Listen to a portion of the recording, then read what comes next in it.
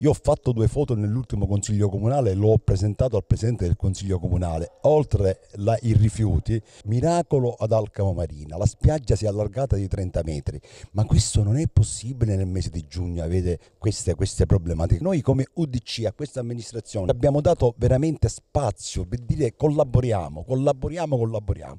Hanno cambiato assessore, dal primo settembre del 2019 c'è un nuovo assessore, l'assessore D'Angelo. Non ho visto, non ho visto, oltre a non vedere la l'assessore D'Angelo fisicamente ad Alcamo, non ho visto una novità, un problema risolto. La politica che fa danno su danno, questo è un problema serio. Ma che cosa vogliono secondo voi i cittadini?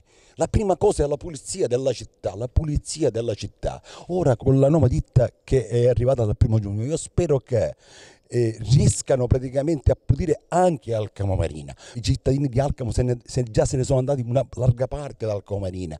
C'è problemi pure di ritiro di immondizia, dell'immondizia de, ne, nelle case anche di chi praticamente è residente tutto l'anno. Problemi su problemi. Non è possibile, non è possibile che questa amministrazione ancora praticamente non capisce quando bisogna andare a pulire Alcamo Marina dopo quattro anni. Però si parla già la settimana scorsa comunque di interventi straordinari eh, su spiagge e eh, su altri versanti.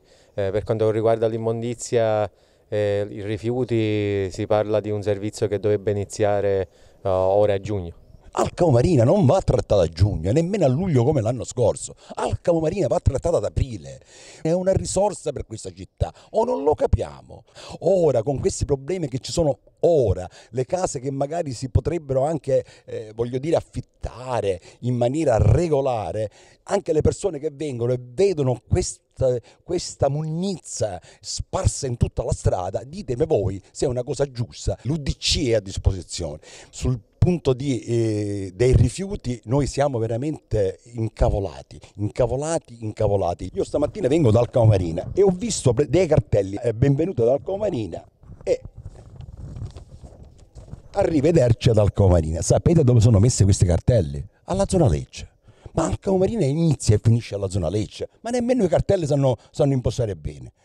Alcomarina inizia dal lato Balestrate eh, a Calattubo, inizia e finisce a Calattubo per capire eh, verso il Lido Craig.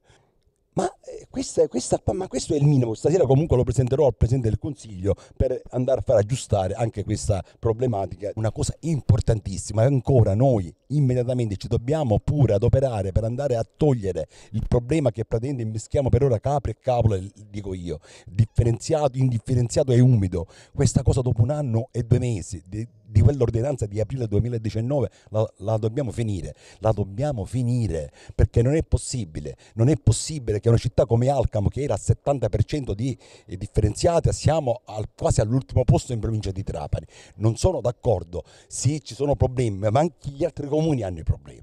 E gli altri comuni sono, hanno una percentuale più alta e sono comuni pure più grossi del comune di Alcamo. E sono dispiaciuto, dispiaciuto per la mia città.